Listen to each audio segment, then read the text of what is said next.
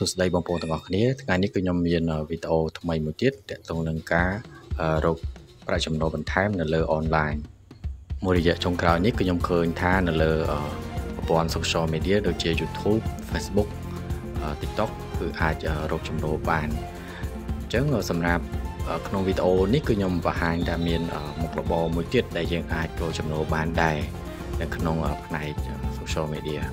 ដោយបងប្អូនឃើញនៅក្នុងវីដេអូនេះគឺជាការផលិតនៅ poster ខ្លីៗទូចៗដែលយើងអាចផុសនៅក្នុង Facebook page Telegram Instagram ឯជាដើម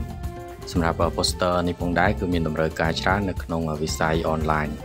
ជាក់ស្ដែងគឺខ្ញុំសង្កេតឃើញថាការលក់ផលិតផលឬក៏សេវាកម្មនៅលើអនឡាញគឺមានច្រើននៅក្នុងប្រទេសកម្ពុជាយើងជាពិសេសនៅលើ Facebook ដែលយើងមើលតាមរយៈទូរស័ព្ទដៃរាល់ថ្ងៃបាទបងប្អូនដើម្បីផលិត poster នេះបាន គឺយើងត្រូវការទី1គឺកុំព្យូទ័រទី2គឺត្រូវការអ៊ីនធឺណិតសម្រាប់ទី3យើងត្រូវការរៀនធ្វើ poster នេះ poster គឺយើងអាចរៀនបានតាមរយៈសាលារៀន design នានា ឬក៏បងប្អូនអាចរៀនបាននៅលើអនឡាញតាមរយៈ YouTube និងមួយវិញទៀតបងប្អូនអាចរៀនបានតាមរយៈគ្រូបង្រៀនលើអនឡាញហើយក្រុមការយើងខ្ញុំក៏មានទទួលបង្រៀនកូនសិស្សតាមរយៈអនឡាញផងដែរសម្រាប់មេរៀនដែលយើងផ្ដោតនៅក្នុងការបរៀននេះគឺដូចការបង្ហាញនៅក្នុងវីដេអូគឺជារូបភាព poster ងាយៗដែលយើងអាចធ្វើបានក្នុងរយៈពេលខ្លី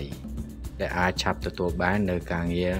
នៅលើអនឡាញដែលយើងអាចធ្វើនៅផ្ទះក៏បាននៅហាងកាហ្វេឬក៏នៅទីណាក៏បានដែរខ្ញុំគិតថាការងារនេះគឺស័ក្តិសមជាមួយនឹងស្ត្រីមេផ្ទះឬក៏និស្សិតដែលគាត់ចង់រកការងារក្រៅម៉ោងដើម្បីបន្តការសិក្សាអីហ្នឹងគឺ